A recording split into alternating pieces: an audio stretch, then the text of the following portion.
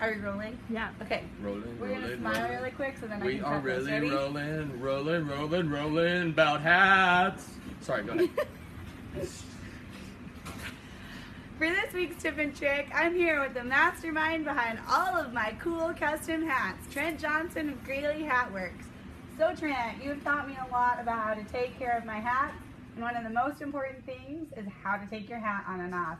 So could you just give us a demonstration and share with all of our viewers how to properly do that? You bet. Thanks for coming here. And I'm sorry about my queen hair. Anyhow, so when you're taking your hat on and off, it's best to hold it at the top and the bottom.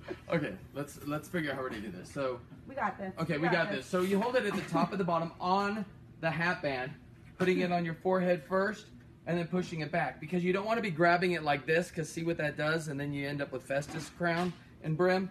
And you don't want to grab it like this because then it pinches this too close together. So on the front and the back, at the base of the crown, onto your head. Voila! Now we'll all see you in wonderful hats. Thanks, Trent.